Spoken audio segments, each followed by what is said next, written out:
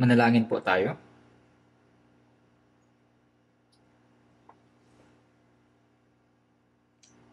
Aming mahabaging amang Diyos, kami po ay lumakad sa kasalanan sa pamamagitan ng paglayo sa Diyos. Ang Panginoong Yesus ang tumanggap ng sumpa at kahatulan sa halip na kami at hinugasan ng aming mga kasalanan magpakailanman sa pamamagitan ng kanyang kamatayan at ng mahalagang dugo. Kaya hindi na kami muli tatanggap ng kahatulan at sumpa Nagpapasalamat po kami sa dakilang biyaya na ito. Sa oras pong ito, kami na naligtas sa pamamagitan ng mahalagang dugo ng Panginoon, ay nagpapasalamat dahil kami ay nakakapagtipon sa harapan ng Panginoon na nagpupuri sa dakilang biyaya at pag-ibig ng Panginoon. Nag-aaral ng salita at makapag-fellowship. Naniniwala po kami na ang Diyos ay kasama namin sa oras na ito Pakiusap, tingnan po ninyo ang bawat isa at hawakan kami ng inyong mahabaging mga kamay. Tulungan po ninyo kami na maging bago, banal at ganap sa pumamagitan ng inyong saganang biyaya at salita. Pamunuan po ninyo kami upang makapamuhay kami ng karapat-dapat bilang mga anak ng Diyos sa nalalabi naming buhay. Pakiusap, samahan at bigyan po ninyo ng biyaya ang mga kapatid na nakikinig ng salita ng Diyos sa kanilang tahanan dahil sa korona sa lahat ng iglesia sa aming bansa at sa buong mundo, sa lahat ng kapatid na nagpapanatili ng kanilang pananampalataya at nangangaral ng ibanghelyo sa may hirap na sitwasyon. Pakiusap, bigyan niyo po sila ng biyaya, salita, at hawakan sila ng inyong makapangyarihang mga kamay. Tulungan po ninyo kami upang magawa ang gawain ng Diyos na nagdadala ng maraming mga ligaw na kaluluwa sa Panginoon sa pamamagitan ng matapang na pangangaral ng Ibanghelyo. Pagalingin niyo po ang mga may sakit at tulungan ang mga may hina. Alagaan at hawakan sila upang walang sino man ang matisod. Panginoon na nagbibigay sa amin ng kailangan naming salita ayon sa panahon at nagtuturo sa amin ang daan na dapat naming lakaran. Ipaunawa mo po sa amin ang kalooban ng Diyos sa pamamagitan ng inyong salita na nais ninyong ipahayag sa amin. Ipahintulot po ninyo na mapanatili ang salita sa aming mga puso at buhay, at hindi maging mga tagapakinig na malilimutin. Sa oras pong ito, kami po ay umaasa sa pag-Panginoon at sa banal na Espiritu. Idinadalangin namin ito sa pangalan ng Panginoong Yesus. Amen. Buksan po natin ang ating mga Biblia. Galatia Kapitulo 5,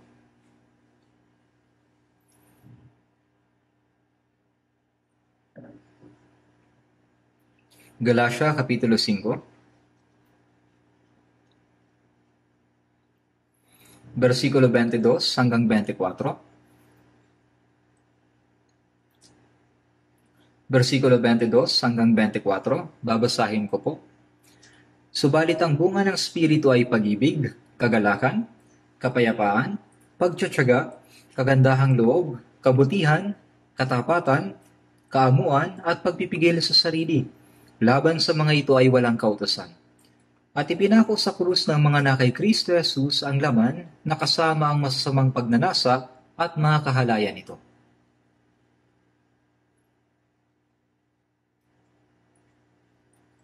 Ang taong ito ay halos patapos na. Sa nakalipas na taon at maging sa taong ito ay hindi tayo malayang nakapagtipon dahil sa mga paghihigpit na dulot ng corona. Ako po ay lubos na nangihinayang dahil hindi tayo malayang nakapag-evangelize at nabuhay ng malaya sa ating buhay kristyano.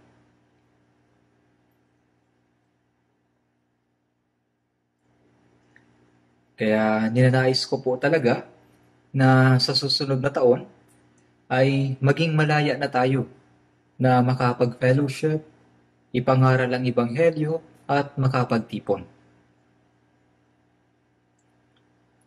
Ako po ay tumatayo dito na nakamask. Nahihirapan ako. Kaya ba ninyong mag-sermon na nakamask? Sobrang mahirap at mayroon pang glass screen sa harapan. Siguro ay hindi ninyo nakikita ng malinaw. Gaano ba kalayo ang speaker sa mga tagapakinig? Ngunit kailangan po nating magsuot ng mask. Sa tingin ko ay hindi na kailangan pero hindi ko mapigilan na mag-sermon ng nakamask. Ito po ay labis na nakakasagabal.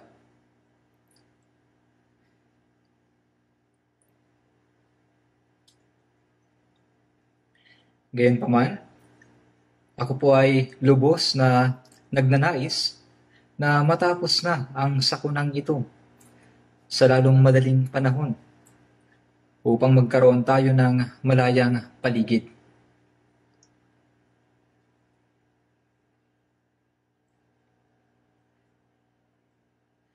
Ngayong araw,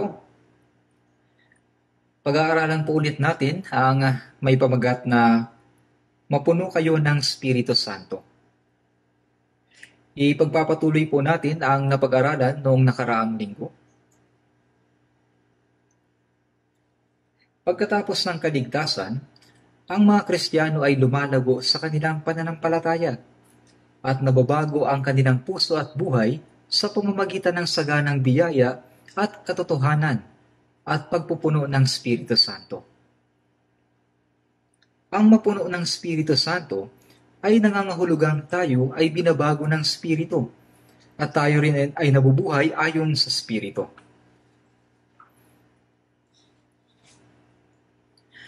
Tayo noon ay dating nabuhay ayon sa kapangyarihan ni Satanas, na pinuno ng kapangyarihan ng himpapawid. Tayo rin ay nabubuhay dati na sumusunod sa mga pagnanasa ng ating laman bago tayo naligtas. Natanggap natin ang kaligtasan ng libre, walang bayad, sa pamamagitan ng biyaya ng Diyos. Dapat tayong mamuhay ng karapat-dapat bilang mga anak ng Diyos at bilang Kristiyano pagkatapos ng kaligtasan. May isa sa katuparan ito sa pamamagitan ng masaganang biyaya at kapangyarihan ng banal na Espiritu. At hindi sa pamamagitan ng ating sariling pagsisikap at kalooban. Kaya ang mga Kristiyano ay dapat na mabago. Nalalaman nating mabuti na ang buhay Kristiyano ay hindi isang relihiyosong pamumuhay hindi ito buhay na dumadalo lamang sa church, na nagpupuri, nananalangin, at nakikinig ng salita ng paulit-ulit ayon sa mga panahon. Ang ating puso at buhay ay dapat na nababago sa araw-araw sa pamamagitan ng biyaya at salita ng Diyos at sa kapangyarihan ng Espiritu. Kaya kahit na naligtas na tayo bilang mga miserableng makasalanan, kailangan nating pumasok sa kaharian ng Diyos bilang isang tao ng Diyos na binabago. Bagaman hindi tayo lubusang mababago na kagaya ng Diyos, kailangan nating pumasok sa kaharian ng Diyos na binabago ng higit at higit pa sa maluwalhati at banal na katawan. Ang mga uod ay nananatili sa lupa sa loob ng pitong taon at pagkatapos ay nagiging kuliglig at lumilipad papalayo. Bago maging isang kuliglig ay mayroong proseso. Bago at pagkatapos ng kaligtasan, tayo rin ay kailangang unti-unting mabago at maging bagong tao hanggang sa pagpasok natin sa kaharian ng Diyos. Kaya sa pagbabalik ng Panginoon ay kailangan nating tumayo sa kanyang harapan na maluwalhati at walang kahihiyan. Kaya kung tayo ay mapupuno ng Espiritu, tayo ay makakapamunga ng mga bunga ng Espiritu.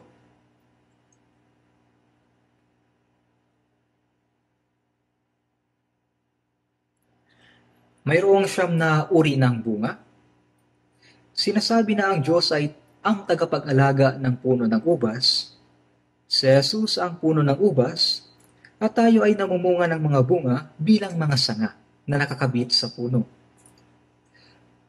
Ang tagapag-alaga ng puno ng ubas ay hindi masisiyahan kung ang mga bunga ay matutuyo at mahuhulog. Ang mga puno ng ubas ay kailangang mamunga ng ubas. Ubas na hindi pangkaraniwan kundi napakasarap at mabuting tingnan. Kagaya nito, kailangan nating mamunga ng mabuting bunga ng Espiritu Santo sa pamamagitan ng kapuspusan ng Espiritu Santo sa harapan ng Diyos.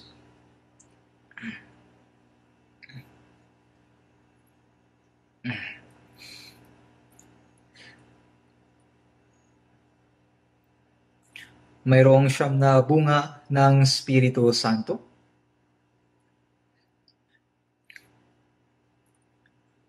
Pag-ibig, kagalakan, kapayapaan, pagtsatsaga, kagandahang loob, kabutihan, katapatan, kaamuan, at pagpipigil sa sarili. Ngayon, ako po ay magsasalita patungkol sa ikasyam na bunga, ang pagpipigil sa sarili. Inakala ko dati na ang pagpipigil sa sarili ay isang simpleng bunga lamang. Subalit nalaman ko sa pamamagitan ng Biblia na mas marami pala kaysa sa iniisip ko ang mga salita na patungkol sa pagpipigil sa sarili. Ang pagpipigil sa sarili ay hindi simple. Kailangan muna nating alamin kung ano ba ang pagpipigil sa sarili upang makapamunga ng mga bunga nito. At kailangan din nating alamin kung ano ang dapat nating gawin upang mamunga ng siyam na bunga ng Espiritu Santo. Ang kaligtasan ay sa pamamagitan ng biyaya ng Diyos kung paanong ang Diyos ay nagbibigay ng biyaya sa mga naghahanap ng kaligtasan, tinutulungan tayo ng Diyos na mamunga, tinutulungan ng Diyos na mamunga ang mga gustong mamunga ng bunga ng banal na spirito. Yaong mga taong nasisiyahan lamang sa relihiyosong pamumuhay na walang interes, mga labas-pasok lang sa simbahan, ay hindi kailanman magbubunga. Kaya nga dapat nating naisin na magbunga sa pamamagitan ng kapuspusan ng banal na spirito at dapat tayong sumunod sa salita ng Diyos sa isang tapat na puso at buhay. At tutulungan tayo ng Diyos na magbunga ng mga bunga ng banal na spirito. Sa huling sermon, nagsalita ako tungkol sa kabuuang bunga ng banal na spirito. At idinagdag ko ang salita sa unang Korinto, Kapitulo 9, versikulo 24 Hindi ba ninyo nalalaman na ang mga tumatakbo sa isang takbuhan ay tumatakbong lahat, ngunit iisa lamang ang tumatanggap ng gantimpala? Kaya tumakbo kayo sa gayong paraan upang iyon ay inyong mapagwagyan. Sa panahon ngayon, ang gantimpala ay parang gintong medal sa Olympics. Tumakbo kayo sa gayong paraan upang iyon ay inyong mapagwagyan. Ang buhay kristyano ay parang pagtakbo upang makamit yung gantimpala ang isang mananakbo sa takbuhan ay hindi pwedeng mamuhay na gaya ng mga karaniwang tao na hindi man mananakbo. Kailangan niyang magtiis sa napakahirap na pagsasanay sa loob ng mahabang panahon. Minsan ay kailangan siyang manatili sa training camp na hindi umuwi. Siya ay sinasanay sa pagkontrol ng pagkain, oras ng pagtulog, at sa buong buhay ay sinasanay upang maging mas mahusay. Ganyan din ang mga sundalo. Ang sundalo sa isang pangkat ay iniiwan ang kanyang pamilya, mga kaibigan, mga libangan, at dapat siyang dumaan sa matinding pagsasanay upang maging isang mahusay na sundalo. Ganito rin ang ating buhay kristyano. Ang buhay kristyano ay hindi madali.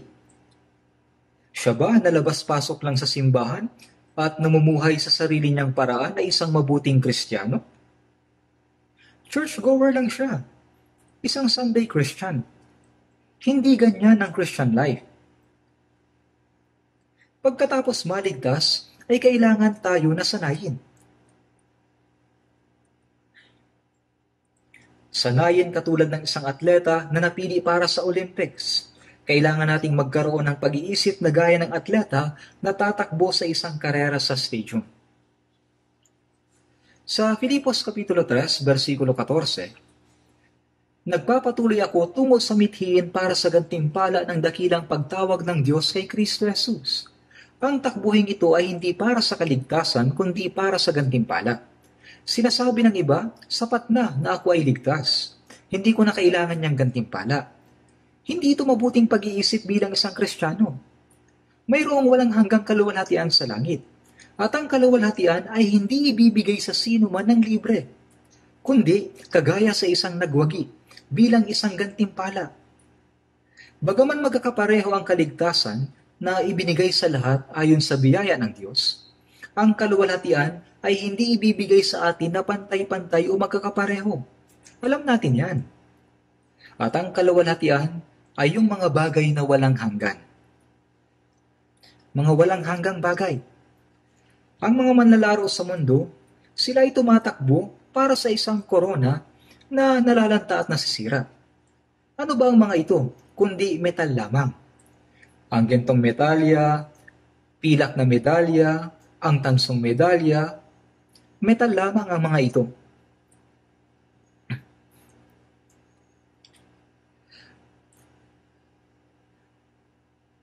Ang mga medalya ay pansamantalang karangalan lamang. Subalit tayo ay tumatakbo sa takbuhan upang makamit ang walang kasiraang korona ng kaluwalhatian. Nakakakita tayo ng mga manlalaro na tumatakbo patungo sa finish line ng buong lakas. Kahit na pagod na pagod na sila, pinipilit nila na huwag huminto at tinitiis nila ang sakit. Katulad ng mga manlalaro, kailangan din nating gawin ang kaparehong bagay.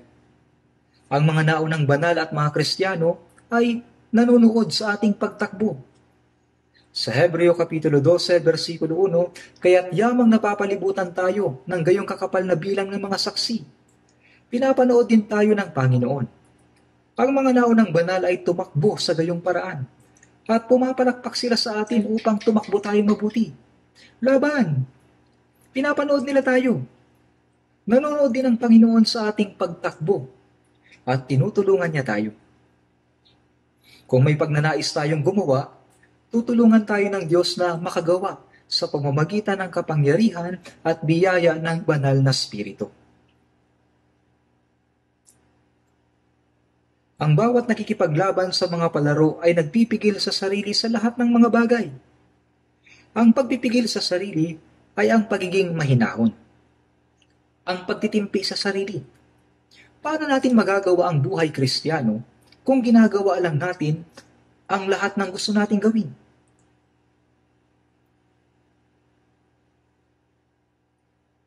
Paano tayo mabubuhay para sa kaluwalhatian ng Panginoon ayon sa kalooban ng Diyos kung yung gusto lang nating tingnan, pakinggan, at gawin ang ginagawa natin? Kung hindi natin pinipigilan ang mga pagnanasa ng ating laman, ay hindi tayo makakapamuhay ng naayon sa banal na spirito. Napakaraming beses na po nating narinig ang mensaheng ito. Ngunit anong pakinabang kung hindi naman natin susundin? Kailangan po nating isagawa ito. Sa unang Pedro Kapitulo 2 versikulo 11, Mga minamahal, ipinapakiusap ko sa inyo bilang mga dayuhan at ipinatapon na kayo ay umiwas sa mga pagnanasa ng laman na nakikipaglaban sa kaluluwa. Hindi natin itinutuon ang ating pag-iisip sa lupa tayo ay nabubuhay sa mundong ito bilang mga dayuhan at manlalakbay.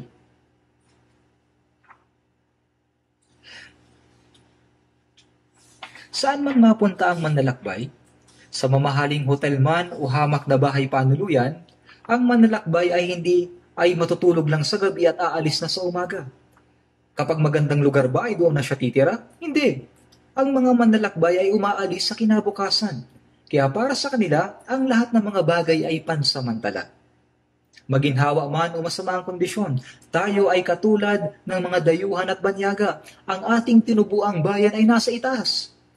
Ang lugar na makakapagpahinga tayo ay wala sa sanlibutan ito, kundi nasa kaitaasan. Umiwas sa mga pagnanasa ng laman na nakikipaglaban sa kaluluwa. Ganito ang dapat nating gawin bilang mga taong may pag-asa sa langit. Gaya ng sinabi ko noong nakaraang linggo, lumalaban tayo sa ating sarili, hindi sa iba. Ang sarili ko mismo ang kaaway ko. Kaya sinabi ni Apostol Pablo, Ngunit sinasupil ko ang aking katawan at ginagawa itong alipin. Oo, ito ay pakikipaglaban sa ating sarili. Kailangan ko munang manalo sa aking sarili upang magtagumpay din ako sa pakikipaglaban sa sanlibutan, sa kasalanan at sa jablo. Kaya umiwas sa mga pagnanasa ng laman na nakikipaglaban sa kaluluwa. Ang pag-iwas ay pagpipigil sa sarili, pagkontrol sa sarili. Ang pagpipigil sa sarili ay ang pagpipigil sa mga pagnanasa ng katawan. Kaya noong nakaraan ay nagsalita ako tungkol sa iba't ibang uri ng pagpipigil sa sarili. Sinasabi ng Galatia, Kapitulo 5, versikulo 16, Lumakad kayo ayon sa Espiritu at huwag ninyong bigyan ng kasiyahan ang mga pagnanasa ng laman. Kung nabubuhay ka sa Espiritu, hindi mo mabibigyang kasiyahan ang mga pagnanasa ng laman. Kaya nga, napipigilan natin ang pagnanasa ng laman sa pamamagitan ng biyaya ng Diyos, ng salita at ng kapangyarihan ng banal na Espiritu.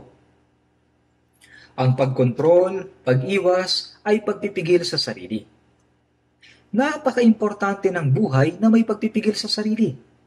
Ang isang taong walang pagpipigil sa sarili, kailanman ay hindi magkakaroon ng mabuting buhay pananampalataya. Sa ngayon ay mayroon pa rin dating karakter na hindi pa nababago, sariling pagkatao. Marami pang natitira. Maraming mga bagay. Kailangan mong kontrolin ang iyong pagkatao, ang iyong mga damdamin at mga bagay na katulad niyan Tungkol dito, si Jesus ay isang halimbawa. Si Jesus, siya ay kapantay ng Diyos na lumikha. Siya na nagahari sa San Sinukob at ang nagpasimula at namamahala sa kasaysayan. Siya ang Panginoon ng paghukom na hatol sa buong mundo sa wakas at ang hari ng mga hari. Subalit, naparito siya sa makasalanang mundong ito ng mga tao sa isang hamak na anyo. Siya ipi- ipinanganak sa isang sabsaban at pinalaki bilang isang anak ng karpentero. At sa loob ng tatlo at kalahating taon, ay wala talaga siyang mapagpahingahan ng kanyang ulo. Walang ganong tao ang nagdusa at nabuhay ng miserable na gaya ni Jesus. Oo, ang inosente at banal na taong iyon ay hinatulan ng kamatayan at ipinako hanggang mamatay sa krus. Ang pinaka nakakakilabot na paraan ng pagpako na itinatag ng Roma, yung pagpako sa krus. Ang mga makasalanan ay dumura sa mukha ni Jesus. Sinampal siya ng kanilang mga palad. Pinalo ang kanyang ulo ng kahoy. Pinagsalitaan siya ng lahat ng uri ng mapangabusong salita at nilagyan ng koronang tinik ang kanyang ulo. Si Jesus ay ipinako sa krus at dinala sa lugar ng pagbitay. Pinagtawanan ulit siya. Kinutihan nila ulit si Jesus at ipinako sa krus. Subalit si Jesus ay hindi nagsalita ng kahit na isang salita. Hindi siya nagsabi na, ano bang kasalanan ko? Na-frame ako. Hindi siya nagsabi ng ganito. Nang siya'y alipustahin, hindi siya gumanti. Nang siya'y magdusa, hindi siya nagbanta. Sinusubukan nating suntukin ang isang taong ang isang tao na kung sinuntok tayo ng dalawang beses. Kapag may nagmura sa atin, nagagalit tayo at nagmumura din. Ganyan ang likas sa atin. Subalit hindi ganito ang ginawa ni Jesus. Para siyang isang tupa na dinala sa katayan. Parang isang tupang tahimik sa harapan ng mga manggugupit. Hindi siya lumaban at nagbato ng kahit na isang salita. Bakit po? Sapagkat si Jesus ay dumating upang mamatay sa krus. Hindi niya kailangang lumaban sapagkat ang walang salang si Jesus ay dumating upang mamatay para sa mga makasalanan. Si Jesus ay hindi sapilitang ipinahiya at ipinako sa krus. Siya ay kusang loob na naparito upang iligtas ang mga makasalanan sa pamamagitan ng pag-ako sa lahat ng kanilang pagdurusa at kahihiyan. At dahil sa iyo ng kalooban ng Diyos, siya ay sumunod hanggang sa kamatayan. Sa Hebreo chapter 12 verse 3, isalang-alang ninyo siya na nagtiis ng gayong pagsalungat ng mga makasalanan laban sa kanyang sarili ang pagtitiis ay pagpipigil sa sarili. Hindi tayo makapagtiis. Pagkatapos magpigil ng ilang beses, hindi ko na kaya. Nagagalit na tayo at gusto na nating makipag-away. Pagka ganito ay sira na ang lahat. Mabibigo ka sa iyong buhay pananampalataya. Kaya ngayon ay dapat mong kontrolin ang iyong pagkatao. Ang emosyon mo, damdamin, at ang mga bagay na katulad niyan. May mga tao na hindi makapagpigil dati sa kanilang galit o emosyon. Yaong tagapigil ay hindi masyadong gumagana. Halimbawa, ang pangkaraniwang temperatura ng ating katawan ay dapat na nasa 36.5 degrees Celsius. Hindi dapat bumaba o tumaas. Kapag ang temperatura ng katawan ay tumaas masyado, magkakaroon ng isang malaking problema. Nakakamatay ito. Ang Diyos ay naglagay ng isang kasangkapan sa katawan ng tao na kusang pumipigil sa ating temperatura. Subalit ang mga emosyon at pagnanasa ng laman ay walang kusang pumipigil dito. Kung ikaw ay napupuno ng banal na spirito, ang banal na spirito ang automatikong pipigil dito. Pero kung hindi, hindi ito makokontrol ang kanyang sarili at sasabog. Minsan ay maamo tayo na katulad ng tupa, pero sa isang iglap ay nagiging nakakatakot na tulad ng leon o tigre. At lumalabas ang mga mapang-abusong salita at mga masasamang salita sa bibig ng isang napakaamong tao. Hindi niya ito mapigilan. Hindi makontrol ng taong iyon. Sinisira niya ang kanyang sarili. Kapag may nagkamali laban sa atin, isinusumpa din natin. Kapag dalawang beses akong sinaktan ng taong iyon, sasaktan ko siya kahit isang beses. Kung ganyan ang gagawin mo, pwedeng gumaan ng kaunti ang loob mo. Pero lubos mong sinisira ang iyong sarili. Ngayon ay kailangan kong sabihin sa inyo ang ilan pang mga bagay. Isa pa sa pagpipigil sa sarili, yung sexual na pagnanasa dapat na mapigilan. Kapareho sa salitang pagkontrol at pagtitimpi, ang bawat isa ay likas na madaling kapitan ng mga sexual na pagnanasa at mga tukso.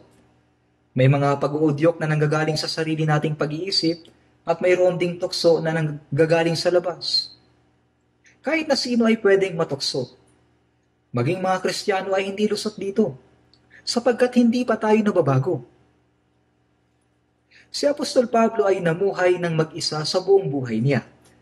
Dahil sa napupuspos siya ng banal na spirito, si Apostol Pablo ay hindi nagkasala. Hindi siya hindi siya sumunod sa kahit na anong makalamang pagnanasa siya ay ganap na napuno ng banal na spirito. Siya ang taong pinakasumunod kay Jesus, pinakatumulad kay Jesus. Siya ay isang tao na makakapagsabi, maging tulad kay sa akin, gaya ko kay Kristo. Ngunit sa kadalasan, ay hindi natin nagagawa ang ganito, di ba? Kaya lalong-lalo na ang mga hindi pa lumalago sa kanilang pananampalataya, ang mga hindi pa lumalago spiritually, dapat ay lalo silang maging mapagpigil sa sex o pakikipagtalik. Kung mahulog ka sa pagnanasa at tukso para sa sex, kung mahuhulog ka dito, magkakaroon ka ng napakasama at nakamamatay ng mga resulta sa iyong buhay pananampalataya.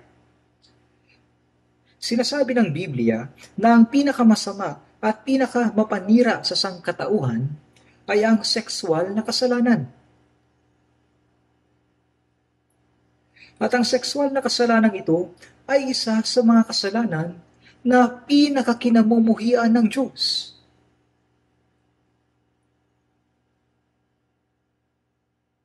Alam mo din yan. Ang Sodoma at Gomora ay nawasak sa pamamagitan ng apoy at asupre. Nagkaroon ng maraming kasalanan sa gitna nila at isa na rito ang sexual na pagkasira. Ganoon din sa katapusan ng panahon. Sa panahon natin, ang sexual na kasalanan ito ay sobrang pumapailan lang, dumadami ng sobra. Napakaraming mga tao ang gumagawa ng mga kasalanang sexual. Tingnan natin sa unang Korinto, Kapitulo 7, versikulo 5. Tingnan natin sandali sa tingin ko ay mas mabuting hanapin natin sa Biblia kaysa pakinggan lamang ito.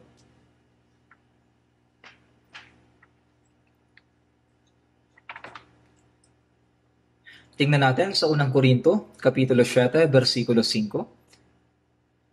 Huwag pagkaitan ng isa't isa, maliban kung may pagkasunduan ng ilang panahon, upang maiukol ang mga sarili sa pananalangin. At pagkatapos ay muli kayong magsama, baka kayo ay tuksohin ni Satanas dahil sa kakulangan ng pagpipigil sa sarili. Ganito ang sinabi niya sa mga naligtas na Kristiyano. Ngayon, sinabi niya sa mga may asawa, huwag pagkaitan ng isa't isa. Kung maaari, hindi ninyo dapat pagkaitan ng isa't isa. Ang mag-asawa ay dapat na natutulog sa iisang kwarto. Hindi mabuting gumamit ng magkahiwalay na kwarto ang mag-asawa. Sinasabi ng iba, ay naku, ang lakas-lakas kasi niyang humilik. Ang ilan ay natutulog sa ibang kwarto. Ngayon, Kapag tumitingin ako sa ibang bansa, may ilang mga mag-asawa na nakagawian na na magkahiwalay ang kwarto ng lalaki at babae. Namumuhay sila sa ganoong paraan. Nagsasama lamang sila sa mga espesyal na okasyon. Hindi ko alam kung ganoon pa din. Sa katunayan ay hindi mabuti ang ganyan. At ang mas malala pa, kapag ang asawa ay pupunta sa malalayong bansa at nabubuhay sila na magkahiwalay. Hindi ko alam kung ano ang dahilan. Para sa edukasyon ng kanilang anak o pang-ekonomiya, kaya sila ay naninirahan na magkahiwalay sa loob ng maraming taon. Para sa edukasyon, ang kanilang mga anak ay pumupunta sa ibang bansa para mag-aral. At si nanay ay sumasama sa anak upang sumuporta. Si tatay naman ay naiiwan at abalang kumikita para magpadala ng pera. Ang mga mayayamang tao ay sasakay lamang sa eroplano at madalas pabalik-balik sila. Tinatawag nilang eagle dad ang ganitong uri ng tatay, ang mga agila. Ang isa pang ama ay tinatawag na goose dad. At kung minsan ay kada taon ang pagbisita niya sa kanyang mga anak. Hindi naman ito magawa ni Sparrow Daddy Labas-pasok lang si Sparrow Daddy sa kwarto niya sa bahay. Alam mo, ang mga Kristiyano, sa anumang kaso, hindi ito biblikal, hindi ito makatuwiran. Dito, ang salitang huwag pagkaitan ng isa't isa ay may kahulugan. Huwag pagkaitan ng isa't isa, maliban kung pagkasunduan ng ilang panahon upang maiukol ang mga sarili sa pananalangin. Para magkaroon ng oras sa pananalangin para sa ilang espesyal na relihiyosong kadahilanan. Dapat din na magkasundo sa bagay na ito. Gawin ito saglit, ngunit muli kayong magsama. Baka kayo ay tuksohin ni Satanas dahil sa kakulangan ng pagpipigil sa sarili. Ibig sabihin ay pwedeng mawala ng kontrol.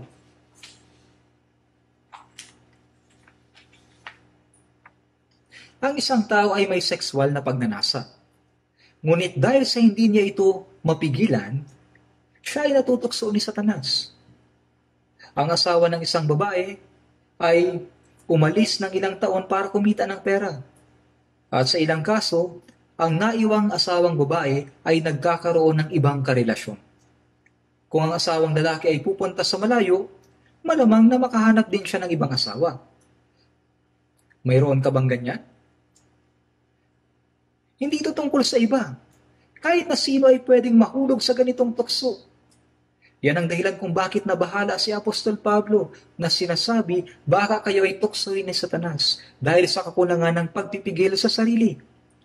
Dahil sa mga pagnanasa ng laman na hindi pa nababago, tutuksohin siya ng Diablo sa tuwing may pagkakataon. Hindi mo dapat hindi mo dapat gawin ang ganito para makaiwas ka sa tukso. Ibig sabihin, pwede siyang maakit nang hindi niya namamalayan. Tingnan natin sa unang Korinto, Kapitulo 7, versikulo 8 at 9. Versikulo 8 at 9. Subalit sinasabi ko sa mga walang asawa at sa mga babaeng balo, mabuti sa kanila kung sila ay mananatiling gaya ko. Subalit kung sila ay hindi nakakapagpigil, ay dapat silang magsipag-asawa. Sapagkat mas mabuti pang mag-asawa kaysa mag-alab ang pagnanasa. Sa mga walang asawa, na namumuhay na nag-iisa. Sinabi ni Jesus, sapagkat may mga yunoko na ipinanganak na gayon mula sa sinapupunan ng kanilang mga ina, At may mga yunoko na ginawang yunoko ng mga tao. At may mga yunoko na ginawang yunoko ang kanilang sarili alang-alang sa kaharian ng langit. Ang ibig sabihin ng maging yunoko ay mamuhay na nag-iisa. Sinabi ni Apostol Pablo, kaya't ang magpakasal sa kanyang nobya ay gumagawa ng mabuti. Maliban kung may espesyal na dahilan. May sinabi pa siyang isa, at ang umiiwas mag-asawa ay gumagawa ng higit na mabuti Tila kakaiba itong sinabi niya. Isinulat ba ito ni Apostol Pablo? Isinulat ba niya ang ganitong bagay sa Biblia dahil sa siya ay hindi nakapag-asawa at namumuhay mag-isa? Hindi po. Sinabi ni Apostol Pablo, alam ko na nagsasalita din ako ayon sa kalooban ng Diyos sa pamamagitan ng banal na Espiritu. Malibang Diyos na mismo ang direktang magsabi, hindi mahalaga kung makapag-asawa ka man o hindi may mga taong nag-aasawa at mayroong mabuting buhay pananampalataya. May mga taong hindi nag-aasawa at namumuhay na nag-iisa. Pero mas maganda ang kanilang buhay pananampalataya. Kaya nga mag-asawa ka man o hindi, hindi ito ang mahalaga. Kundi kung paano mamuhay ng tama sa iyong buhay pananampalataya. Yan ang mas mahalaga. Mayroong ibang tao na maganda ang buhay pananampalataya kahit nag-iisa habang ang iba ay natutukso sa ilang uri ng tukso dahil sa sila ay namumuhay na mag-isa. At may ilan na nag-aasawa at sinisira ang kanilang buhay pananampalataya dahil sa kanilang pagkakamali. Kaya nga nagbigay ng bilin si Apostol Pablo sa mga walang asawa at nag-iisa. Sa mga balo, walang bilin tungkol sa mga balo. Gayunpaman, sa mga taong namumuhay na nag-iisa. Sinabi ni Apostol Pablo, kung sila'y mananatiling gaya ko. Kung sila'y mananatiling gaya ko. Sa gayon ay magkakaroon ka ng higit na kalayaan na mamuhay sa iyong buhay pananampalataya. Ang isang tao na lumalago sa pananampalataya at puspos ng banal na spirito ay makakapumuhay para sa Panginoon ng higit kaysa isang taong may pamilya kung siya ay namumuhay ng mag-isa. Sa tuwing tinitingnan ko po ang ating mga misyonaryo, kung mayroon silang maraming anak, marami din silang bagay na dapat kontrolin. Ito ay mga personalidad ng mga bata, problema sa edukasyon at iba pa, at hindi sila malayang makalipat sa ibang lugar. Maraming mga problema. Gayunman, kung sila'y walang mga anak o mayroong kaunting anak, Madali lang para sa kanila na maging mga misyonaryo at mayroon silang higit na kalayaan na maipangaral ang Ebanghelyo. Gayunpaman, napakabuting bagay kapag ang mga anak ay lumaking mabuti at makapamuhay ng masigasig para sa Panginoon. Ito ay isang mabunga at dakilang resulta. Napakabuti din na maaari silang mabuhay ng malaya para sa Panginoon kapag wala silang anak. Kaya sinabi ni Apostol Pablo, kung sila'y mananatiling gaya ko, Ngunit kung sila'y hindi nakakapagpigil, ay dapat silang magsipag-asawa, sapagkat mas mabuti pang mag-asawa kaysa mag-alab ang pagnanasa. Kung ikaw ay hindi makapagpigil sa sarili, kung hindi mo kayang mapigilan ang sexual na pagnanasa na nag-iisa, mag-asawa ka hanggat maaari. Pero, hindi ka pwedeng mag-asawa ng kahit na sino. Sinabi niya sa mga mag-aasawa ulit, ngunit kung patay na ang kanyang asawa, malaya na siyang makakapag-asawa sa kanino mang ibig niya lamang ay sa Panginoon. Sa pagitan ng mga Kristiyano, ang kasal ay talagang napaka-importante. Makakalakad ba ang dalawa na magkasama malibang sila ay mayroong ginawang tipanan? Sa Amos 3.3, kung ang dalawang tao ay nagtutulungan na may iisang pananampalataya at pag-asa at iisang layunin sa buhay, makakapamuhay silang mabuti para sa Panginoon sa halip na mag-isa. Kung hindi naman, hindi nila alam kung gaano ito makakagambala sa kanilang buhay pananampalataya. Kaya dapat itong gawin sa Panginoon. Sinabi ng Biblia, Ngunit kung sila'y hindi nakakapagpigil ay dapat silang magsipag-asawa. Ano man ang mangyari, kung hindi natin na kaya, pwede tayong matukso Itong isyong sexual ay napakasensitibo sa ating buhay. Ayaw talaga ng mga tao na mapag-usapan ng tungkol dito. Pero ang totoo, kung titingnan natin sa ikalawang Timoteo, Kapitulo 2, versikulo 22, si Timoteo ay isang pastor, siya ay kamanggagawa ni Pablo, at siya ay anak ni Pablo sa pananampalataya. Kaya sinabi niya kay Timoteo, layuan mo ang masasamang pagnanasa ng kabataan. Ikaw din ay dapat na lumayo sa mga pagnanasa ng kabataan. Dahil sa si Timoteo ay isang kabataan, siya ay mayroong malakas na pagnanasa ng kabataan. Ano ang dapat niyang gawin? Lumayo. Anong ibig sabihin ito? Lumayo? Kung ayaw mong matukso, huwag mong bigyan ng pagkakataon na matukso ka. Ang isang kabataang lalaki at isang kabataang babae ay mahuhulog sa tukso kung sila ay magkasama sa isang liblib na lugar o magkasamang mamamasyal at pupunta sa malayong lugar. Naalala ko ang ilang mga bagay na natutunan ko noong ako ay nasa seminaryo pa bago ako naligtas. Mga pastor, ibanghilista, huwag na huwag kayong magkakaroon ng house visitation na nag-iisa. Kapag may counseling, kung babae ang nagpapa-counsel, ay iwanang bukas ng maluwang ang pintuan. Pwede kang matukso o ma-misunderstood. Ganyan ang sinasabi ko. Kung ikaw ay magdi-visitation, isama mo ang iyong asawa o ibang mga tao. Walang problema yon. Hindi ka pwedeng pumunta na mag-isa. Sa katunayan, nakakita ako ng mga nahulog sa tukso dahil dyan. Kaya ang ibig sabihin ng layuan mo ang masasamang pagnanasa ng kabataan ay kailangan nating lumayo sa mga sitwasyon na pwede tayong matukso. Hindi tayo dapat magbigay ng pagkakataon na matukso. Hindi tayo dapat gumawa ng lugar kung saan pwede tayong matukso. Kung mahuhulog ka sa pagnanasa ng kabataan, mawawala ang iyong katayuan bilang isang ibanghilista. Pwede, pwede itong mawala sa iyo. Napakadelikado nito. Marami na tayong nakikitang ganitong kaso sa mundo. General, kongresista, ang ilang sa kanila ay nahulog ng dahil sa ganitong klase ng issue. Ito ay isang kahiyahiyang problema. Mga leader din. Ang pangalan ng leader ay nalulugbok sa putik.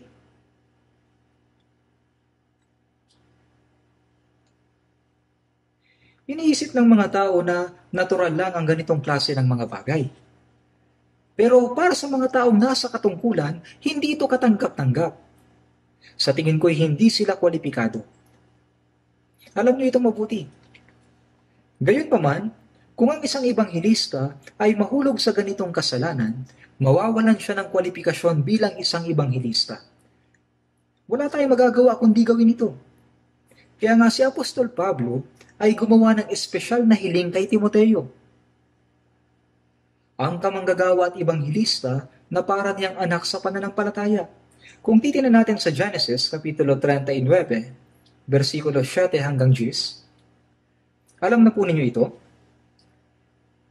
Si Jose ay kinasuklaman ng kanyang mga kapatid at ipinagbili bilang isang alipin.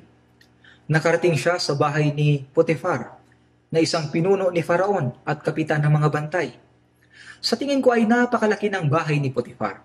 Marami doong mga alipin. At si Jose ay ginawang punong tagapamahala ng buong sambahayan ni Potiphar. Mahusay niyang ginawa ang kanyang tungkulin.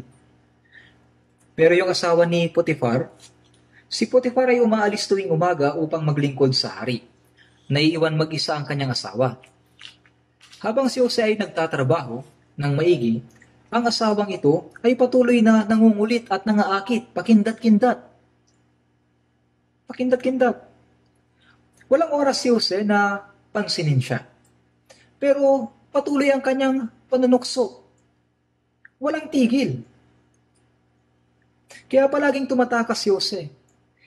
Isang araw, ang asawa ni Potiphar ay sinubukan ulit siyang tuksuhin. Hinawakan niya ang kanyang balagap, balabal.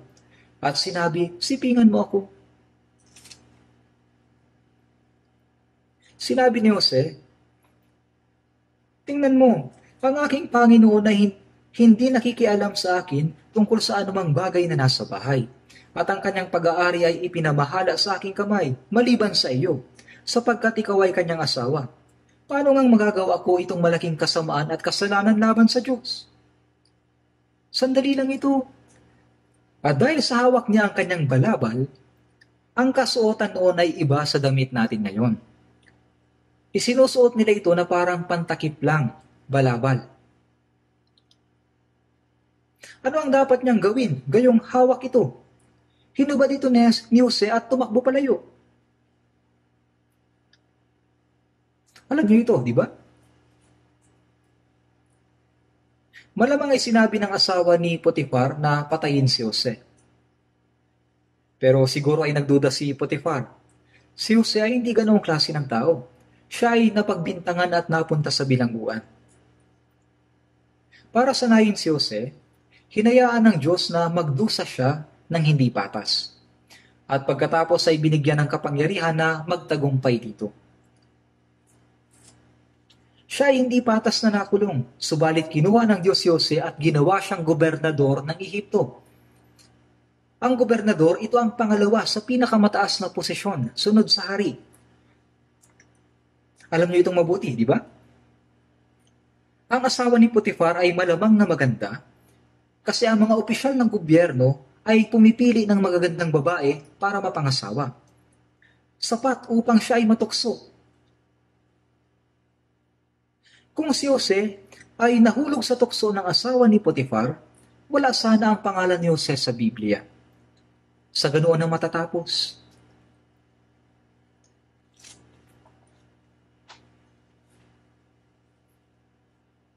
At alam ninyo ang naging problema ni Haring David ng Israel?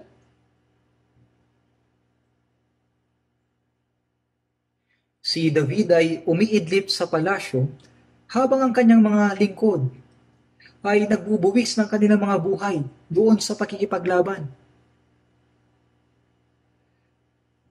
At pagkagising niya, ay meron siyang nakita na isang babaeng naliligo. Mula roon, sa itaas ng palasyo ay nakita niya naliligo. Naliligo, kaya nga napakaganda sa paningin ni David. Alamin mo kung sino ang babaeng iyon. Ah, siya pala ang asawang babae ni General Urias. Tawagin niyo siya para makapag kami. Uminom lang ba sila ng tsa? Siya ay nagkasala ng pangangalan niya. Sa aking opinion, kung gusto niyang maligo, ay dapat na isinaran niya ang mga kortina at mga bintana. Pero para bang gusto rin niya na makita siya? At bakit naman pinanood? Siya ay asawa ng isang tapat na lingkod Sa tingin ko ay medyo playboy itong si David, kaya siya ay nagkasala ng pangangalo niya.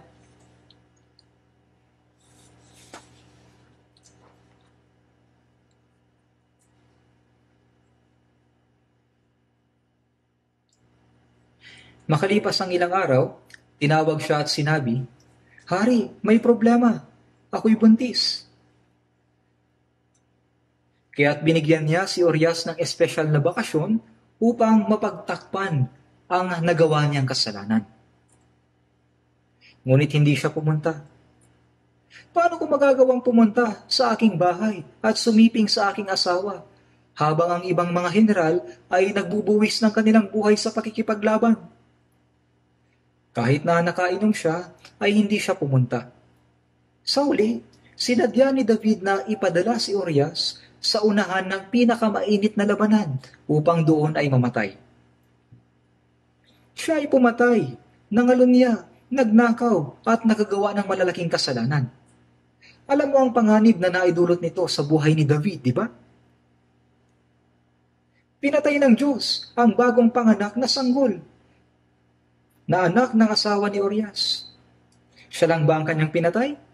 Pinatay din niya ang dalawa sa mga nakatatandaan niyang anak. At si David ay tumakas mula sa palasyo pagkatapos agawin ng kanyang anak na si Absalom ang trono. Gaano nakakahiya. Ang anak ni David na si Absalom ay naglagay ng mga tolda sa bubungan at lantaran sinipingan ang mga asawang lingkod ng hari sa harap ng napakaraming tao. Wala nang mas nakakahiya pa kay Saryan. Siya ay nagkasala ng panandalian pero ang di- disiplinang tinanggap niya ay kakilakilabot. Hindi natin lubos maisip kung gaano katindi ang naranasan niyang sakit.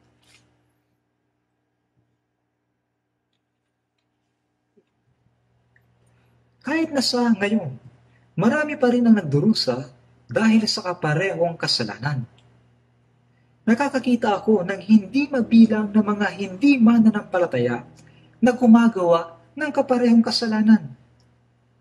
Paano nila nagagawa ang ganitong klase ng bagay? Sobrang nakakahiya. At alam mo ba, mayroong ding ilan na mga Kristiyano na katulad nila. Mayroon silang kakilakilabot na disiplina na matatanggap mula sa Diyos. At ang bawat isa sa kanila ay mayroong personal at nakamamatay na problema.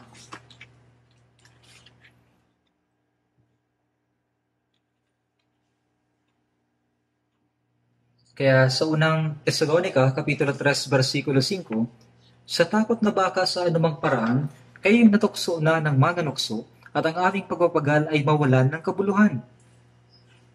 Tinutukso tayo ng mananukso at mayroon tayong sexual na pagnanasa sa loob natin. At yung mga hindi pa nabago ay tinutukso ng Diablo. Ang Diablo ay patuloy na nagbibigay ng pagkakataon upang tayo ay magkasala Maraming beses ito. Ito ay nakikita at naririnig natin.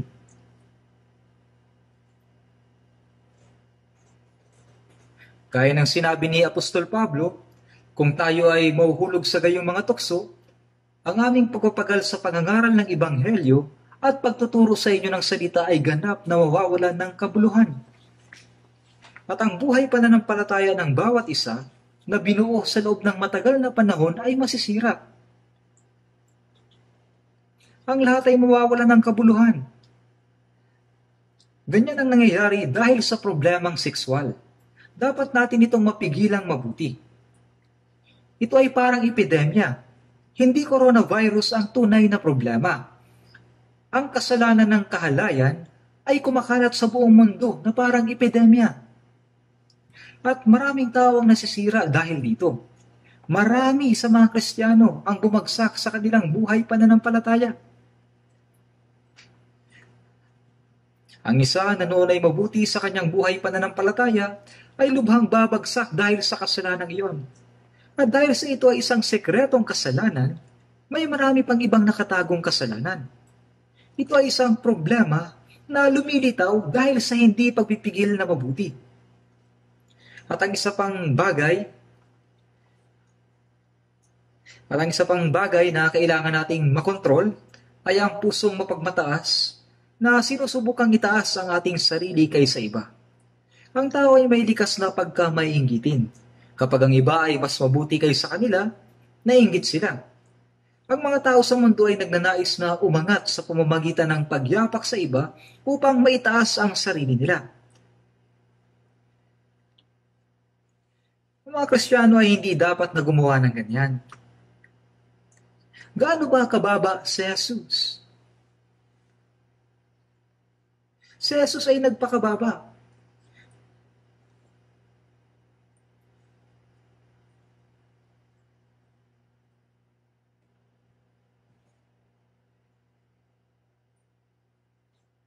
Sa Isayas Kapitulo 14, versikulo 12, O tala sa umaga, anak ng umaga, paanong ikaw ay lumagpak sa lupa?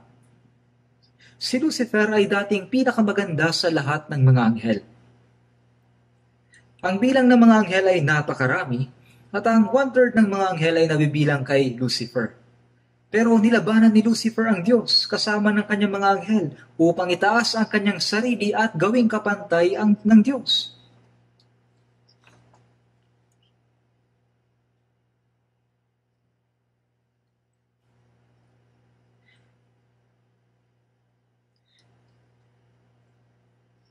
Pagbagsak ni Lucifer at ng kanyang mga anghel, sa Mateo Kapitulo 25, versikulo 41, Lumayo kayo sa akin, kayo mga isinumpa, doon kayo sa apoy na walang hanggan, na inihanda sa Diablo at sa kanyang mga anghel. Ang impyerno ay ginawa para sa mga nahulog na anghel. Ano ang nagpabagsak sa kanila? Iyon ay ang kanilang pagmamataas. Kaya ang Diablo ay naglalagay ng pagmamataas sa puso upang gawing masama ang mga tao.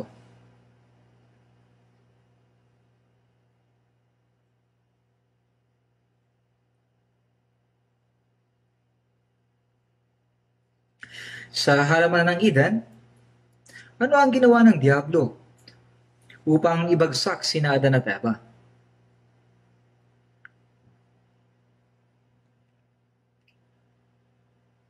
Sinabi ba ng Diyos kay Eva na huwag kainin ang bunga ng punong kahoy ng pagkaalam sa mabuti at masama? Hindi. Sinabi ito ng Diyos kay Adan na huwag kainin. Sinabi ng Diyos kay Adan na huwag kainin ng bunga bago likhain ng babae. Pagkatapos ay narinig ito ni Eva mula sa kanyang asawa. Kaya dapat ay ganito ang sinabi ni Eva sa ahas. Walang sinabi ang Diyos sa akin. Kay Adan ka magtanong. Pero hindi ganyan ang kanyang sinabi. Sinabi na nga sa kanya, Sinabi ba ng Diyos sa inyong dalawa na huwag kumain? Sa tanong ng ahas ay ibinilang niya si Eva. Kaya sumagot si Eva, pwede namin kainin ang iba, subalit sinabi ng Diyos sa aming dalawa na hindi namin dapat kainin. Hindi, hindi nagsalita ang Diyos sa kanilang dalawa kundi kay Adan lamang. Ipinantay niya ang kanyang sarili sa kanyang asawa. Pagkatapos ay sinabi ng Diablo sa kanya, hindi ka mamamatay. Hindi lang hindi ka mamamatay, kundi kapag kinain mo iyon, ikaw ay magiging kagaya ng Diyos. Naiingit ang Diyos sa inyo. Sinabi niyang huwag kainin kasi baka ikaw ay maging katulad ng Diyos. Kainin mo, masarap. At kapag ikaw ay kumain, ikaw ay magiging matalino. Ang iyong mga mata ay mabubuksan at ikaw ay magiging kagaya ng Diyos. Tinukso siya ng Diablo. Nilikha ng Diyos ang tao ayon sa kanyang sariling larawan upang tumulad sa Diyos. Kung tayo ay lubos na susunod sa salita ng Diyos at magpapakumbaba tayo sa harapan ng Diyos, itataas tayo ng Diyos. Subalit, ibinababa ng Diyos ang mga nagnanais na itaas ang kanilang sarili at itinatapon sila sa impyerno. Gayunpaman, si Eva ay hindi nakapasa sa pagsubok at ang kanyang asawa ay bumagsak din.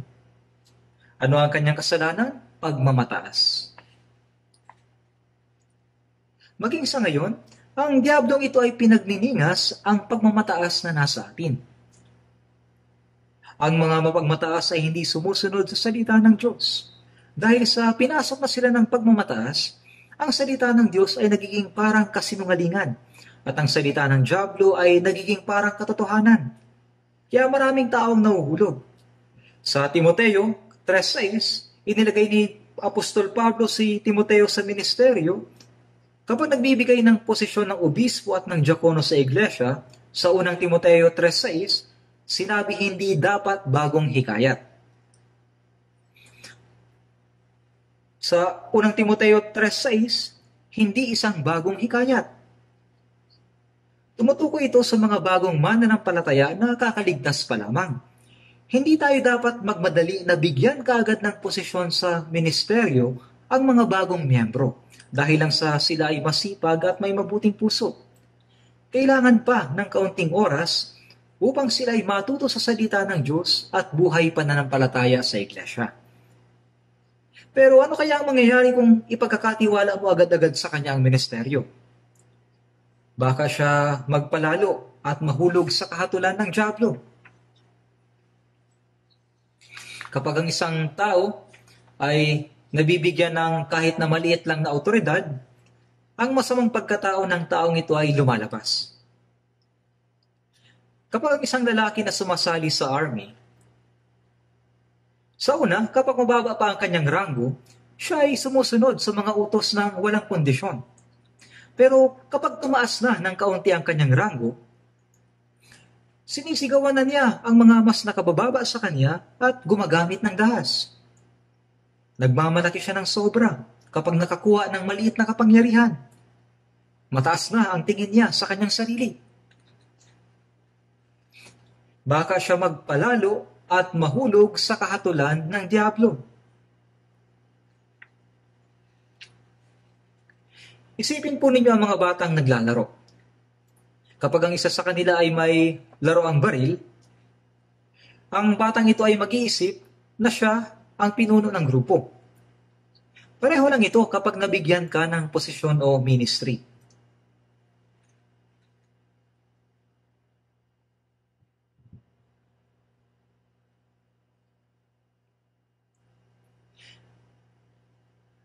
Ang iyong posisyon, ang iyong ministeryo ay hindi isang pamunuan na nakabatay sa posisyon. Ibinigay ito sa iyo upang sumunod ka at makapaglingkod sa Diyos. Ang ministeryo ba ay ranggo? Pwede kang mga tuwiran. Ano ba ang, ano ba ang iba o meron sa kanya? Bakit siya tumanggap ng ganyang ministeryo? Paano naman ako? Iniisip mo ba na ang ministeryo ay antas o ranggo?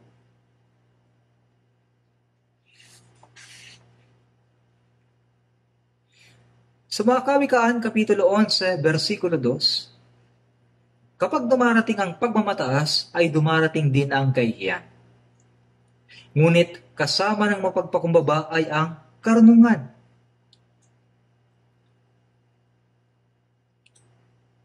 Kapag dumarating ang pagmamataas, ay dumarating din ang kahihiyan. Ang ibig sabihin ng pagmamataas ay gustong kontrolin ng iba. Sa mga kawikaan, Kapitulo 16, versikulo 18, ang pagmamataas ay nauna sa kapahamakan at ang palalong diwa ay nauna sa pagkabuwal. Ang pagmamataas ay nauna sa kapahamakan. Kung ikaw ay mapagmataas, mapapahamak ka. Ang palalong diwa ay nauna sa pagkabuwal.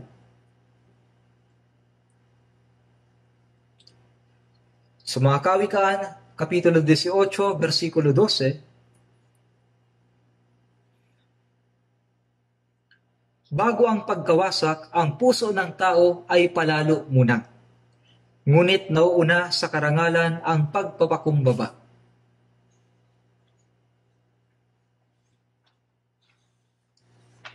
Ang taong nasa kapakumbabaan ay hinahangaan. Isipin ninyo kung gaano ka mapagpakumbaba sa Jesus. Naging masunurin siya hanggang sa kamatayan siya ay nagpakababa sa kanyang sarili at naging masunurin hanggang sa kamatayan. At pagkatapos ay itinaas siya ng Diyos at hinayaan siyang maging dakila at ginawa siyang hari ng mga hari at hukom. Sa Santiago Kapitulo 4.6, ngunit siya ay nagbibigay ng higit pang biyaya. Kaya't sinabi, ang Diyos ay sumasalungat sa mga mapagmataas, subalit nagbibigay ng biyaya sa mga mapagpakumbaba. Natanggap natin ang kanyang biyaya na nagligtas sa atin. Maliban dito ay patuloy tayong tumatanggap ng mga karagdagang biyaya. Gaya ng sinasabi sa Juan 1.16. At mula sa kanyang kapuspusan ay tumanggap tayong lahat ng biyaya na sinundan pa ng ibang biyaya. Siya ay nagbibigay ng higit pang biyaya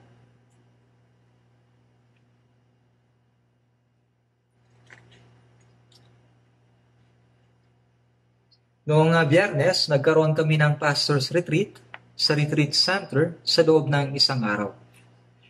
Doon, aking pinagyang diin na kung ikaw ay maging mapagmataas, mamamatay ka. Ang isang mapagpakumbabang brother ay maaaring maging mapagmataas pagkatapos maging pastor. Kahit na wala namang dahilan upang ito'y ipagmalaki.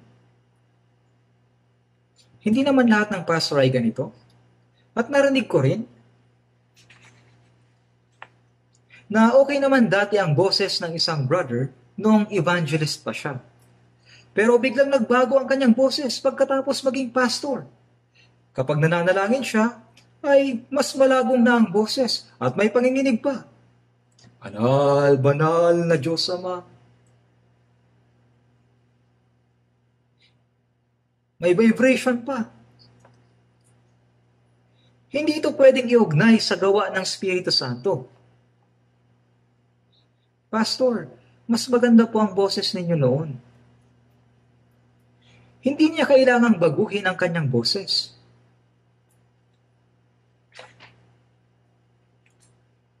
Kung ikaw ay magiging mapagmataas, mamamatay ka. Ang mga tao ay natatakot sa mga malulupit at hindi nila ito hinahangaan.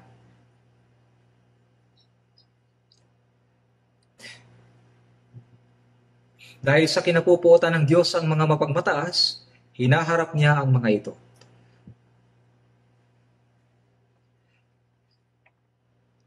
Kaya palagi kong sinasabi na kung mas marami kang gawain sa iglesia, dapat ay mas kakaunti ang iyong salita.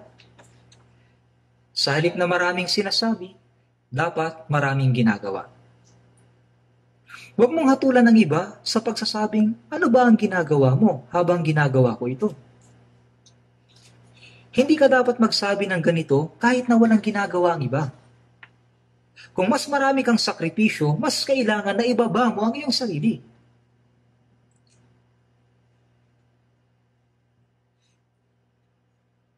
Kung nais mong itaas ang iyong sarili sa pamamagitan ng iyong mga sakripisyo, alalahanin mo na mawawalan ka ng gantimpala. Nakakita ako ng ganitong mga tao sa ating iglesia.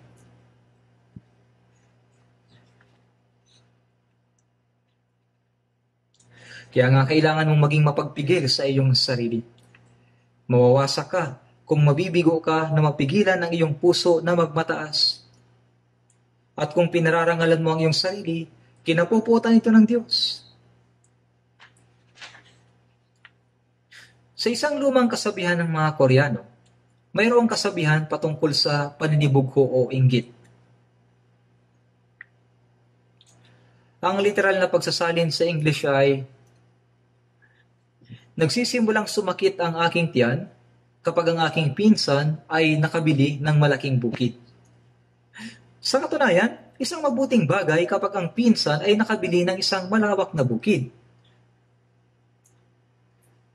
Pwede niyang ibahagi ang kanyang kayamanan sa atin. Pero likas sa tao ang napakasamang ugali na ito na mainggit sa kasiyahan ng iba.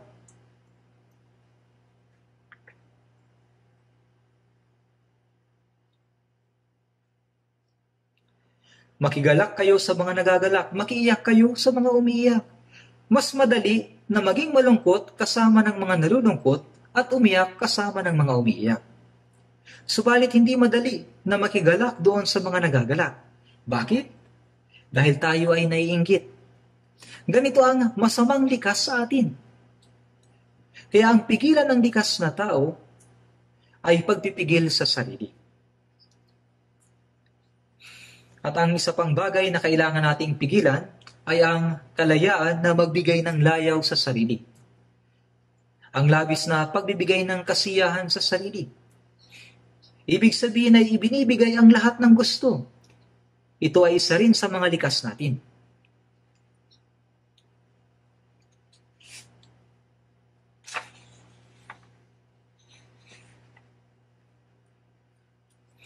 Sa Juan Kapitulo 8, versikulo 32, at inyong malalaman ang katotohanan at ang katotohanan ang magpapalaya sa inyo. Ang kalayaan ng mga Kristiyano ay hindi kalayawan, kundi kalayaan na nakaayon sa katotohanan. Kaya sa Galatia Kapitulo 5, versikulo 13, sapagkat kayo mga kapatid ay tinawag sa kalayaan, subalit huwag lamang ninyong gagamitin ang inyong kalayaan bilang isang kadahilanan para sa laman kundi sa pamamagitan ng pag-ibig ay maging alipin kayo ng isa't isa. Ano ang kalayaan ng mga Kristiyano? Kalayaan mula sa kasalanan, kalayaan mula sa kamatayan, kalayaan mula kay Satanas, at kalayaan mula sa kautosan. Pero hindi ito kalayaan na gawin ang gusto mo. Dahil sa ang ating dating pagkatao ay hindi pa nababago, kailangan mo itong mapigilan. Kung hindi, ang kalayaan na ito ay parang isang leon na nakawala sa zoo. Subalit, huwag lamang ninyong gagamitin ang inyong kalayaan bilang isang kadahilanan para sa laman. kundi sa pumamagitan ng pag-ibig ay maging alipin kayo ng isa't isa. Pakatandaan po ninyo, ito ay kalayaan na nasa katotohanan. Isang mataas na antas ng kalayaan, yung kusang loob na ibaba ang sarili at paglingkuran ng isa't isa.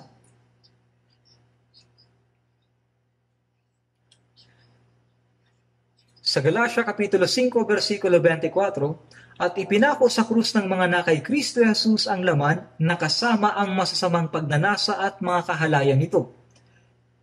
Noong si Jesus ay namatay sa krus, ako ay ipinako din kasama ng Panginoon kaya kung tayo ay nabubuhay sa pamamagitan ng Espiritu, lumakad din tayo sa patnubay ng Espiritu. Ngayon ay dapat tayong mamuhay ayon sa biyaya at salita ng Diyos at sa kapangyarihan ng banal na Espiritu sa pamamagitan ng pagdilingkod sa Kanya at sa mga banal. Bilang isang lingkod na may pagmamahal. Sa loob ng mga ito ay may kalayaan tayo. Ang kalayaan na gawin ang anumang gusto mo ay isang kalayawan. Kaya kailangan nating kontrolin ang ating sarili.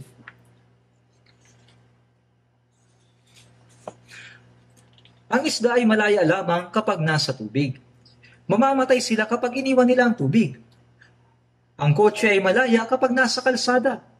Masisira ito kung ito ay nasa labas ng kalsada. Ang tres, tren ay malaya lamang kapag nasa riles. Ang mga Kristiyano ay malaya kapag nasa katotohanan ang isang Kristiyano ay may tunay na kalayaan kapag siya ay nasa pagsunod sa salita ng Diyos.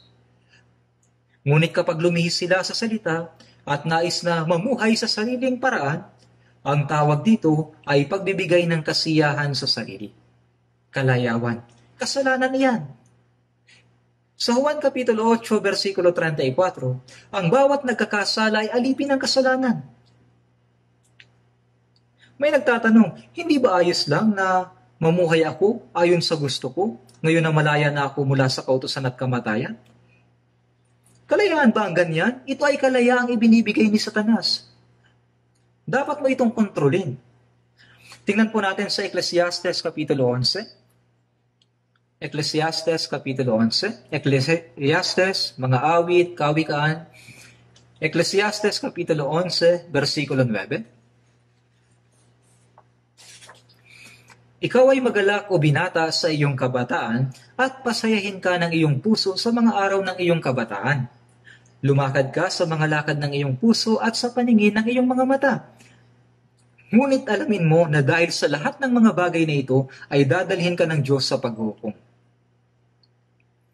Sabi rito, o binata, ang binata ay masigla. Siya ay may pagnanasa. Siya ay may spirito. Pero kahit na matatanda ay bata pa sa puso. Tama? Iniisip nila na magagawa nilang gawin ang anumang ninanais ng kanilang puso. Ikaw ay magalak o binata sa iyong kabataan. Pasayahin ka ng iyong puso sa mga araw ng iyong kabataan. Lumakad ka sa mga lakad ng iyong puso at sa paningin ng iyong mga mata. Ito ay kalayaan sa pagpapakalayaw. Paano kaya kung gagawin mo ang gusto, ang gusto at ninanais ng iyong puso? Hindi ba't magkakasala ka lang? Kung hindi mo pinipigilan ang iyong sarili at hinahayaan mo lang na magkasala, kalayaan ba yan? Ito ay kalayaan mula sa Diablo.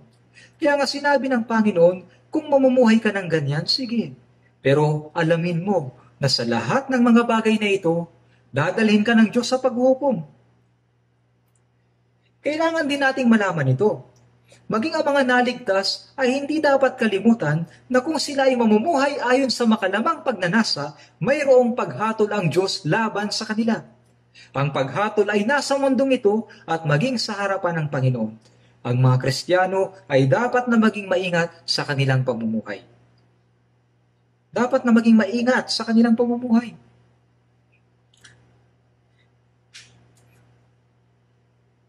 Sa unang Korinto, Kapitulo 8, versikulo 9.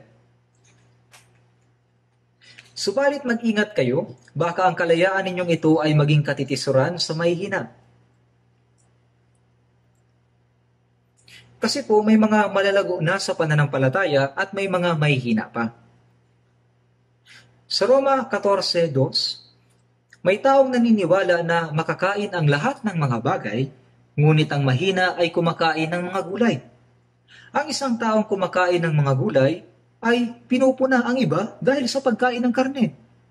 At yung taong lumago sa pananampalataya ay kumakain ng karne at may kalayaan sa kanilang kinakain. Kapag ang isang tao ay hindi kumakain ng ganito o ganoon, pinaparatangan siya. Ah, kahit na yan, hindi mo makain?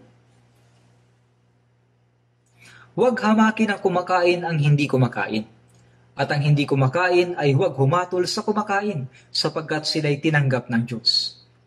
Pero dapat tayong maging maingat para sa mga may mahihinang pananampalataya. Hindi tayo dapat gumawa ng anumang bagay na kapag nakita nila ay pwedeng maging sanhi ng hindi pagkakaintindihan o pagkatisod. Kapag ang isang Kristiyano ay uminom sa bar, ang ibang tao ay pwedeng magsabi, Oh, kahit na naniniwala ka kay Jesus ay mahusay kang uminom. Ang cool mo. Hindi ba at kakaiba yung hindi ka naiinom ng alak dahil lang sa Kristiyano pa? Pero ikaw, kahit na naniniwala kay Jesus, ay umiinom ka. Ang galing mo. Pero sa totoo lang, sa loob-loob nila, sinasabi nila ikaw ay isang pekeng kristyano. Pero kung may magtatanong, bakit hindi ka umiinom? Ah, hindi ako umiinom kasi isa akong ligtas na kristyano. Sinabi kasi ng Diyos sa Biblia na huwag uminom, kaya hindi ako umiinom. Pag ganito ay iisipin ng mga tao, ah, tunay kang kristyano. Kaya mong pigilan ang iyong sarili at gusto nilang malaman ng dahilan. Pero kunwari, sa isang bar, umiinom ang ibang tao ng alak at Sprite naman ang iniinom mo. Umiinom yung ibang tao ng alak at ikaw umiinom ng Sprite. Kapag nakita ka ng ibang tao mula sa malayo, iisipin nila na umiinom ka din ng alak kasama nila. Kaya nga dapat na umiwas ang mga Kristiyano hanggat maaari. Naintindihan niyo po ba? Kapag may nakakita sa isang Kristiyano na umiinom ng alak, pwedeng gumaya ang ibang tao na mahina ang pananampalataya. Ha? Umiinom siya? Okay lang siguro na uminom ng alak ang isang kristyano. Makakatiso dito sa iba.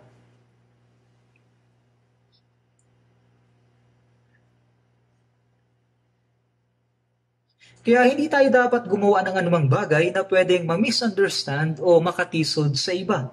Yan ang sinasabi sa unang Korinto. Huwag hayaang mahulog ang mahina sa pananampalataya. Kaya sa unang Korinto 8.13, sinabi ni Pablo, Kaya kung ang pagkain ay nakapagpapatisod sa aking kapatid, kailanman ay hindi na ako kakain ng karne, upang ako'y huwag makapagpatisod sa aking kapatid.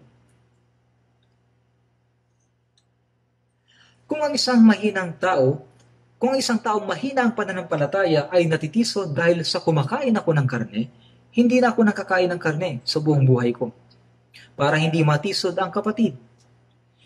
Ibig sabihin ay mayroon siyang kalayaan na kainin ito pero hindi niya kakainin.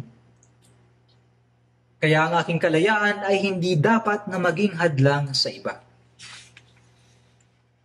Kaya sa unang Korinto 10.32, huwag kayong maging katitusuran para sa mga Hudyo o sa mga Griego o sa Iglesia ng Diyos Ang mga Hudyo ay legalista. Kaya't kumilos si Apostol Pablo na gaya ng tagatupad ng kautosan upang hindi matisod ang mga Hudyo. Ang mga Griego ay kumakatawan sa mga hintil. Sa harapan ng mga hintil, siya ay kumilos na tulad ng hintil. Hindi ito nangangahulugan na siya ay gumawa ng kasalanan na gaya ng hintil. Huwag kayong maging katitisuran. Ang mga Kristiyano ay hindi dapat maging hadlang upang maibahagi ang Ebanghelyo sa iba. Ibig sabihin, ang kalayaan ng Kristiyano ay hindi dapat maging hadlang sa iba. Sa Roma Kapitulo 12, versikulo 11, huwag maging tamad sa pagsisikap, maging maalab sa Espiritu na naglilingkod sa Panginoon. Sabihin po natin ang sabay-sabay, huwag maging tamad sa pagsisikap, maging maalab sa Espiritu, naglilingkod sa Panginoon. Isa pa, huwag maging tamad sa pagsisikap, maging maalab sa Espiritu, naglilingkod sa Panginoon. Inulit-ulit po namin ito ng magkakasama sa isang leaders group fellowship. Dapat ay maging masipag tayo. Kasalanan para sa mga Kristiyano ang pagiging tamad. Ang ating mga katawan ay likas na tamad. Huwag maging tamad sa pagsisikap. Maging maalab sa spirito. Kung ang Kristiyano ay walang pagsisikap para sa Diyos, nabubuhay siya sa buhay Kristiyano na walang lakas. Huwag nating gawin ito. Ang mga Kristiyano ay mayroong napakaraming gawain dapat nating gawin sa church na may maalab na puso ang kahit na maliliit na bagay. Lahat tayo ay may magagawa sa church. Maglinis ng CR, magtapon ng basura, kahit sa kusina. Siyempre sa ngayon ay hindi natin pwedeng gawin. Kung mayroon kang gagawin, pagsikapan mong gawin ang kaya mong gawin. Ito ay paglilingkod sa Panginoon. Ang katamaran ay isang uri ng kalayawan kung wala akong gagawin, may problema ba? Hindi. Ito'y, ito'y isang uri ng kalayawan sa sarili. Umumuhay ng naayon sa gusto ko? Paano? Katamaran ito. Ang katamaran ay pagpapakasasa sa sarili na sinusunod ang pagnanasa ng laman. Dapat nating supilin ang katamaran ng laman at pasunurin sa salita ng Diyos. Dahil sa ating katamaran at pagpapakasasa, kung babaliwalain natin ang mga gawain ng Diyos na dapat ginagawa natin, ang gawain ng Diyos ay hindi matutupad. Malilimitahan natin ang kanyang pagkilos. May napakaraming bagay na gustong gawin ng Diyos sa pamamagitan natin.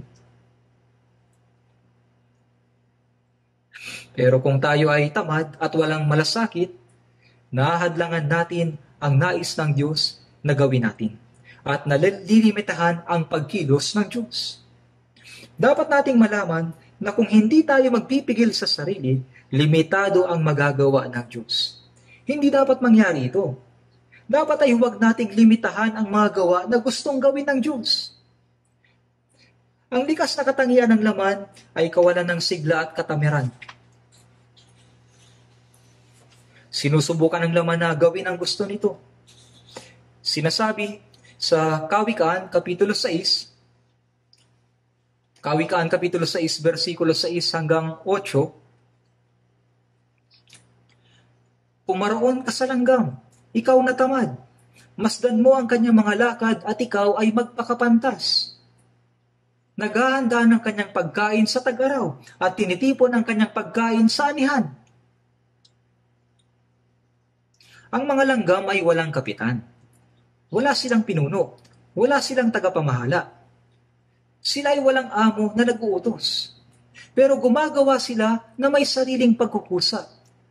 Kapag nakikita natin ang langgam, sila ay tunay na kahanga-hanga. Nakakita ka na ba ng mga langgam na nagsasaka? Madalas ko itong makita sa dokumentaryo ng mga hayop. Mga langgam na nagsasaka, Pumuputol sila ng dahon mula sa puno gamit ang kanilang matatalim na ngipin. At binubuhat nila ang mga dahon ng na ilang beses mas malaki kaysa kanila. Pumipila sila at pumapasok sa pugad ng langgam. Hindi nila kinakain ang mga dahon. Anong ginagawa nila? Hinahayaan nilang mabulok ang mga dahon at pagkatapos ay nagpapatubo sila ng mga kabute gamit ito. Kumakain sila ng kabute. Nakakita na ba kayo ng pugad ng anay sa Afrika? Ang maliliit na anay ay gumagawa ng napakalalaking bahay na ilang beses mas mataas sa kanya.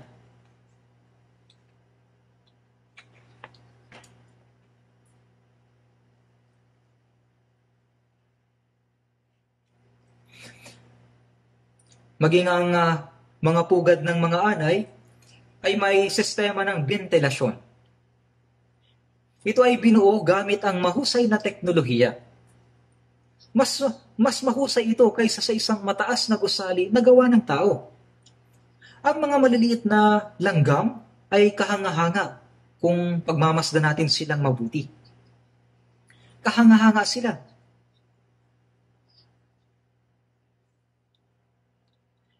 Maging mga langgam ay kayang pumatay ng leon. Alam mo ba? Libo-libong mga langgam ang umatake sa leon at namatay ang mabangis na hayop na iyon. mayroon silang pag-iisip na nagtutulungan. Iisang pag-iisip, nagtutulungan sa isa't isa at masisipag. Ang mga langgam ay walang kapitan, walang tagapangasiwa, walang pinuno. Ngunit sa panahon ng anihan, naghahanda sila ng pagkain para sa panahon ng taglamig. Ang buhay natin sa lupa ay paghahanda para sa espiritual na mundo. Sa maikling oras natin dito, naghahanda tayo para sa walang hanggang mundo. Kaya't mula sa mga langgam ay dapat nating matutunan kung paano maghanda. At sinabi sa Kawikaan, Kapitulo 21, 25, Ang pagnanasa ng tamad ang sa kanya'y pumapatay, sapagkat ayaw magpagal ng kanyang mga kamay. Ang tamad ay tumatanggi sa paggawa. Sabi sa unang Tesalonika, Kapitulo 4, versikulo 11, Nasain ninyong mamuhay ng tahimik, gawin ang inyong sariling gawain, at kayo ay magpagal ng inyong sariling mga kamay, gaya ng aming ipinagbilin sa inyo nasayin ninyong mamuhay ng tahimik, gawin ang inyong sariling gawain, at kayo ay magpagal ng inyong sariling mga kamay.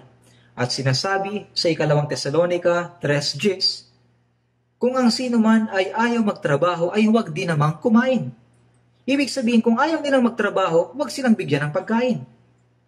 Kung wala silang pagkain dahil sa katamaran, huwag silang bigyan ng pagkain para magutom.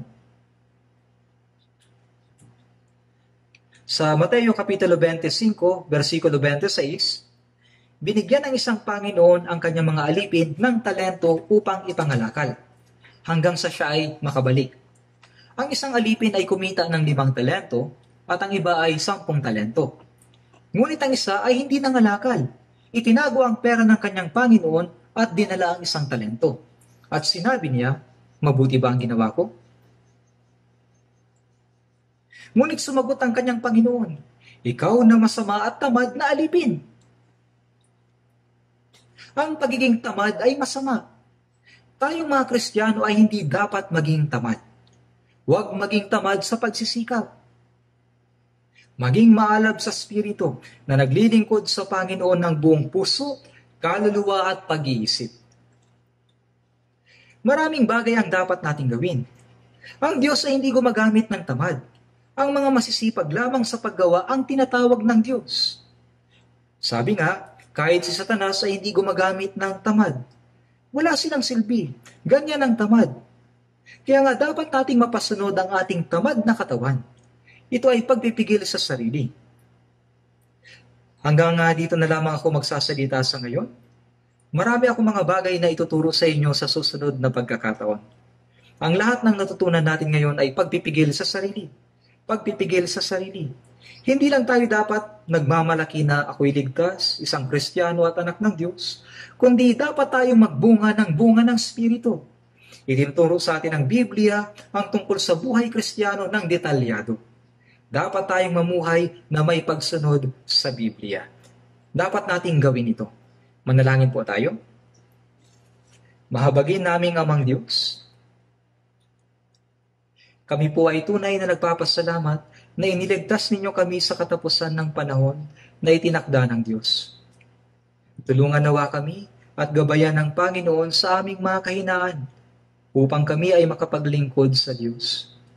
May pangaral ang Ebanghelyo, ibigin ang isa't isa, at mabuhay na may pagsunod. Dahil po sa kasakiman ng aming laman na hindi pa nababago, kami ay maraming kahirapan sa aming kristyanong pamumuhay at maraming bagay ang hindi namin nasusunod.